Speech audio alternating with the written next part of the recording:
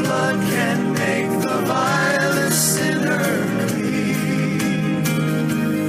To the faint, He giveth power.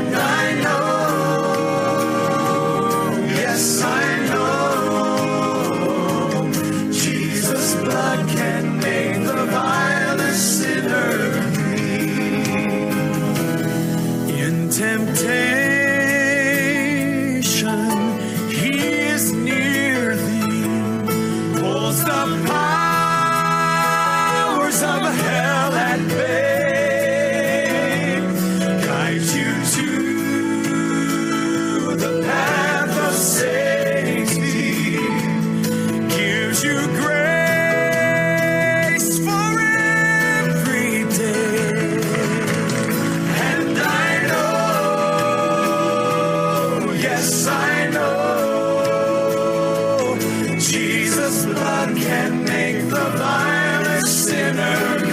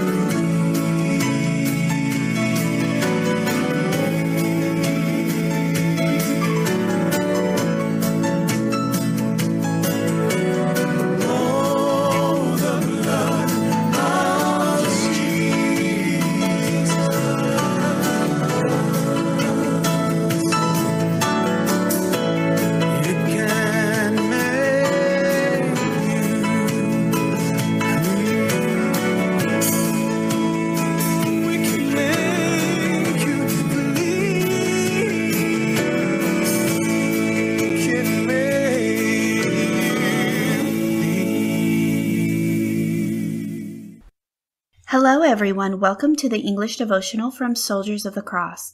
Let's begin in prayer.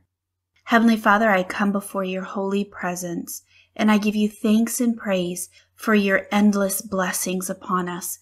Thank you for providing for all of our needs according to your good riches and glory.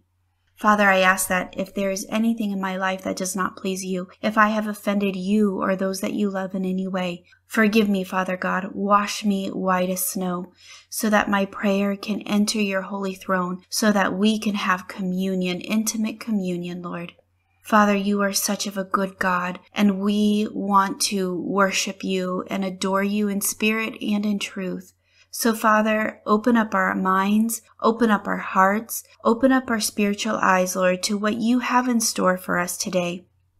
May we always seek for that intimacy that we can find in you. May our relationship with you be true and right and good, Lord.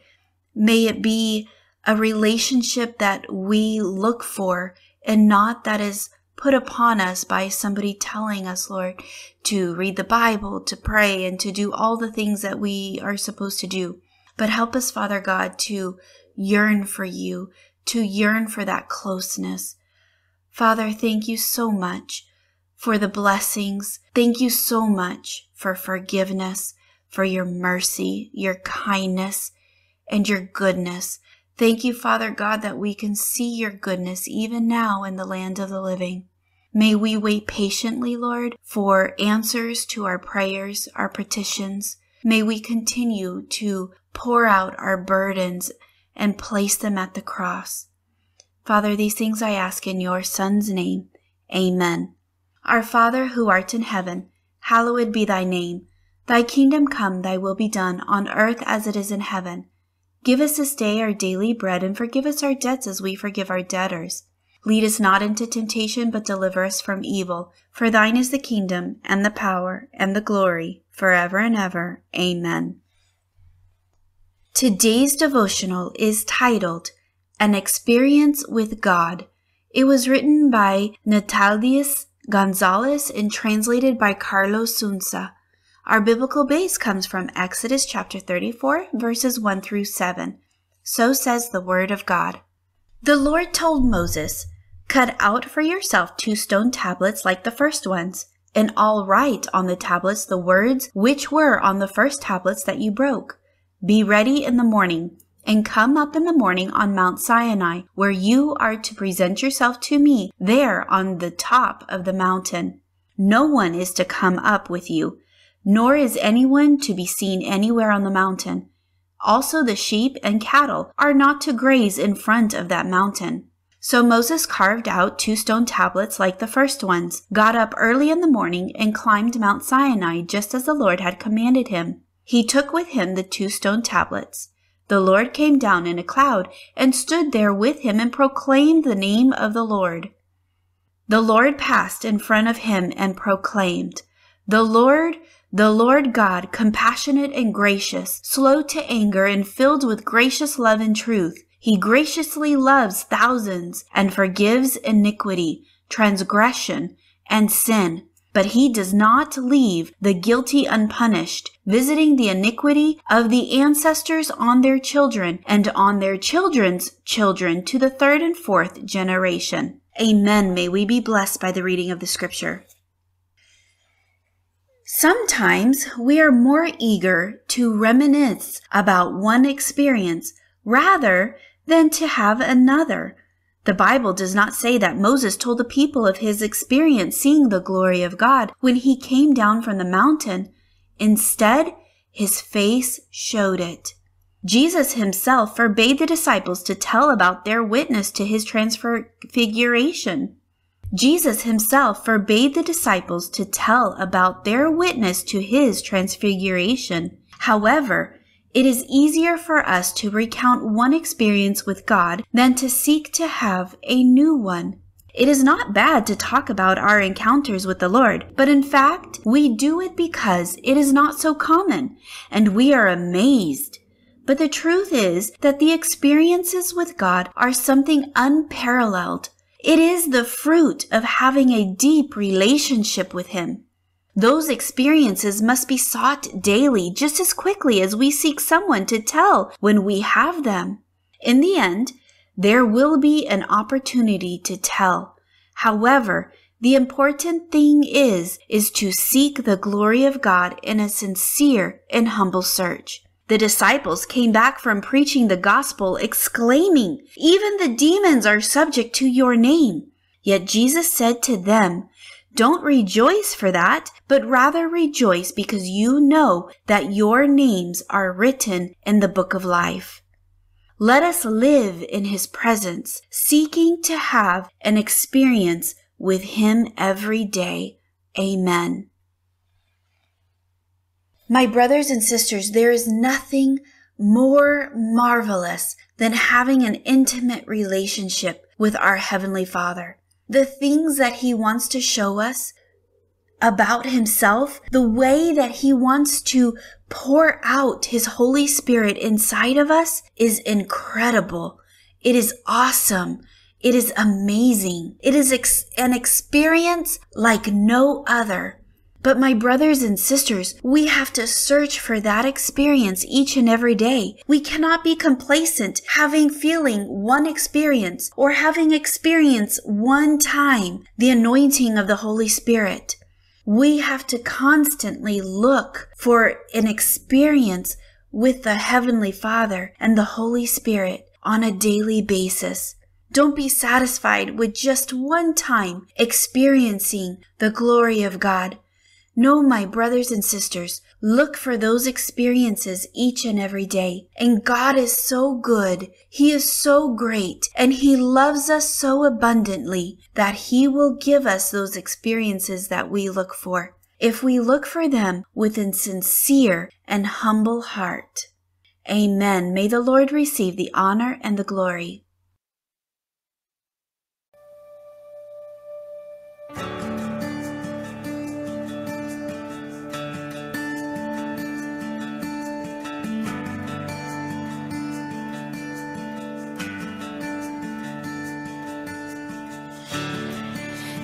Nothing worth more that could ever come close.